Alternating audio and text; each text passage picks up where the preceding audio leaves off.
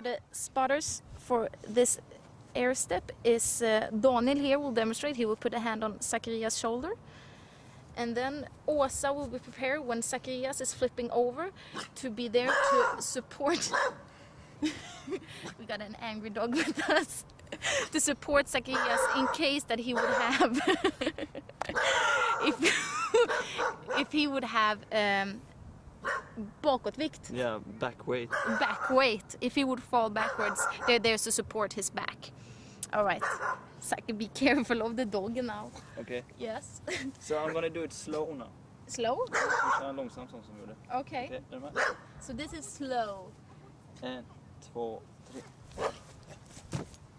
Yes, so you can see the spot.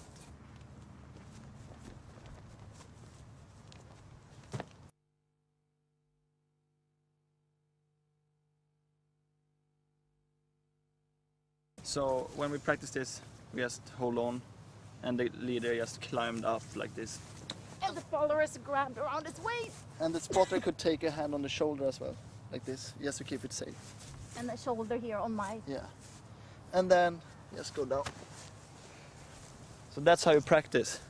And once you practice, you can do it yourself and it's gonna look like this.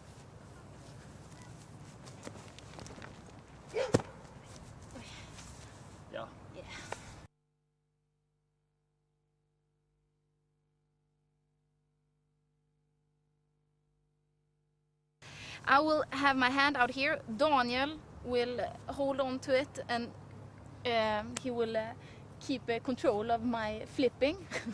exactly. So this is the main, the main spotter. Um, Åsa, she can stand behind me in case of that. Once again, if I fall back and have a back way, she can be there and support me. But Daniel, he can pulse me forward if that would happen too. But yeah, Yeah. exactly. So with spotter, we did like this. Med? Yep. And två, Boom. en. Bam!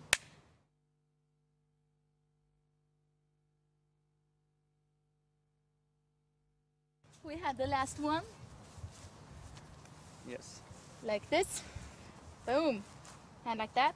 We had a spotter on this side keeping a, a hand on my shoulder. So in case I would fall head down, he uh, will save me like the hero he is.